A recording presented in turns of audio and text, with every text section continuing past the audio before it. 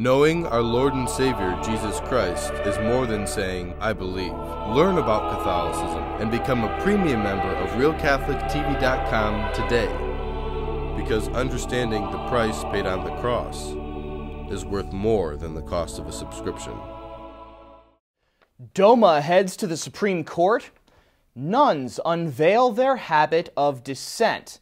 And homeschooled brothers shame public education. All that and more coming up on today's Catholic News Roundup. Catholic News Roundup is brought to you in part by PewSitter.com, your online Catholic newspaper for the third millennium, CatholicMediaCoalition.org, in line with the Church, online with the world.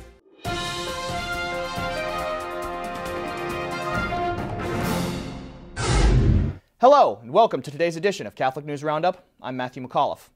DOMA's last stand. The stage is set for a final fight in the Supreme Court as the Defense of Marriage Act has gone undefended and widely challenged, most notably by the Obama administration. The law, passed by Congress in 1996, defines marriage as only between one man and one woman. However, eight states have since approved same sex marriage, and the pressure is on by pro homosexual lifestyle political activists in states across the country to see the law condemned as unconstitutional. Most recently, a U.S. Circuit Court of Appeals in Boston declared that DOMA doesn't give same sex couples the same benefits as heterosexual couples and is therefore sending this battle to the Supreme Court. Not only has the law gone undefended in state legislatures around the country, but last February, Barack Obama declared through his Justice Department that he would no longer enforce DOMA, a standing federal law. It has not yet been announced when opening arguments for the case will begin in Washington. Habit of contradiction.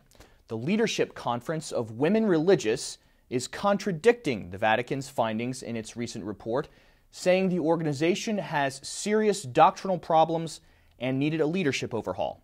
You may remember the Vatican released the report in April, specifically addressing the nuns' lack of support for the Church's stance on abortion, euthanasia, and other key issues, while they instead primarily focus on what they see as other social justice issues.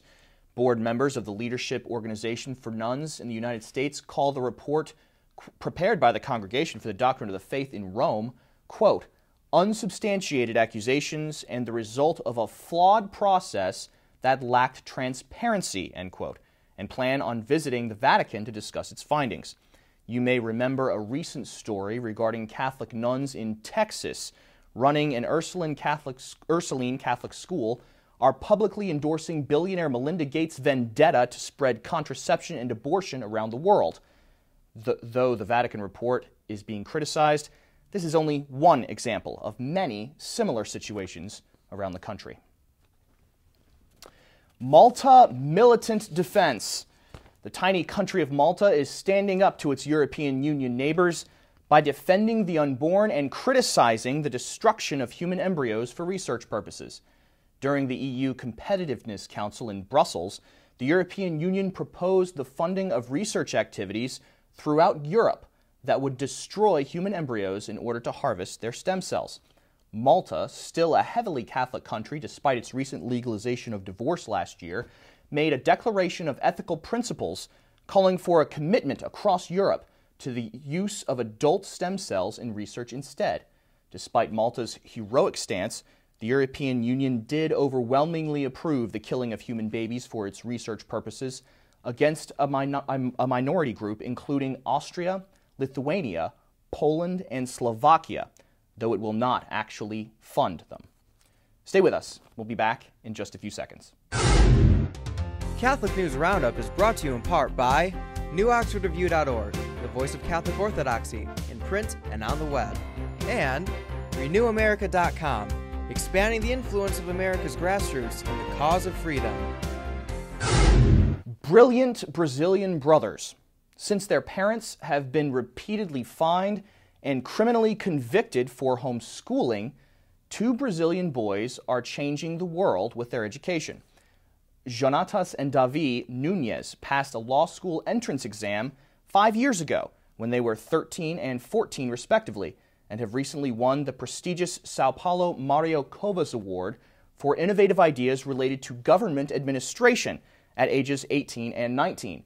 Their prize winning ideas were focused on Sao Paulo's state web portal and online educational service. The brothers are now planning to commercially launch two multimedia products they have designed on their own, utilizing their interests in computer science skills after winning multiple cash prizes for their performance in these complex fields of study.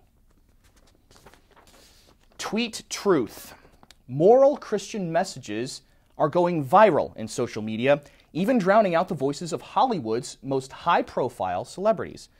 Fox News reports the Bible has over 13 million likes on Facebook, and its app has been downloaded over 50 million times, while moral messages from Christian leaders are 30 times more likely to be retweeted than tweets by personalities such as Lady Gaga, Justin Bieber, and Katy Perry, who all have tens of millions of followers.